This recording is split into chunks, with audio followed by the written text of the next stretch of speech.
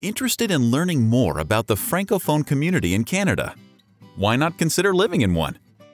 The term Francophone refers to a person who speaks French and is part of the French speaking community. While most French speaking Canadians live in Quebec, many others live in provinces or territories across Canada. To date, there are over 7 million Canadians that speak French. Canada is a bilingual country which means that our official language comprise of both English and French.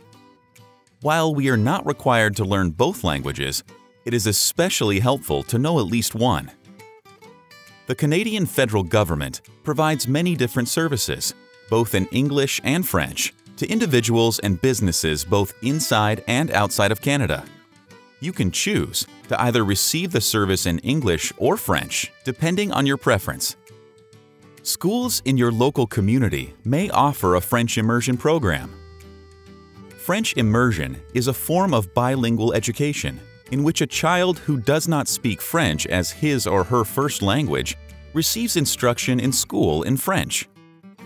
There are also middle to late French immersion programs for students who would like to learn French at a later age.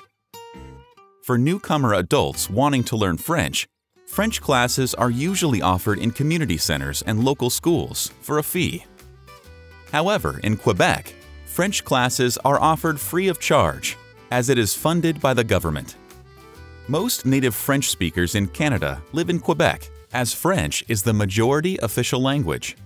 However, it is also important to remember that there are Francophone communities across Canada.